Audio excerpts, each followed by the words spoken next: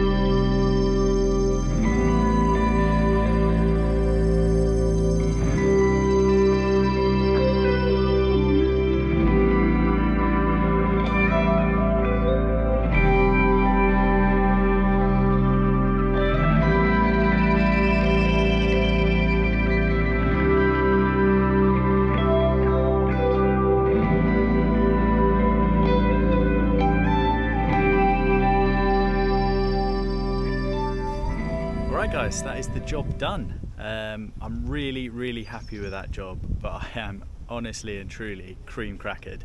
Uh, that's taken it out of me. I was here a lot longer than I expected to be. Um, I'm just not used to moving the tripod and honestly it's been a while since I've done any pressure washing. Obviously being January, uh, it's started to get a bit quieter, that side of things. So I'm looking forward to spring, but yeah, it was great to get the machine out and start cracking on with a beautiful clean. Uh, the customer's over the moon with the results. Um, he hasn't been able to do it himself for a while.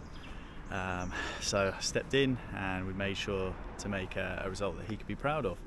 Um, thought it was a really interesting clean, all the little foxes and things like that. So if you've made it this far to the end of the video, comment down the bottom fox um, for no reason. You won't win anything, but just to let me know that you made it to the end.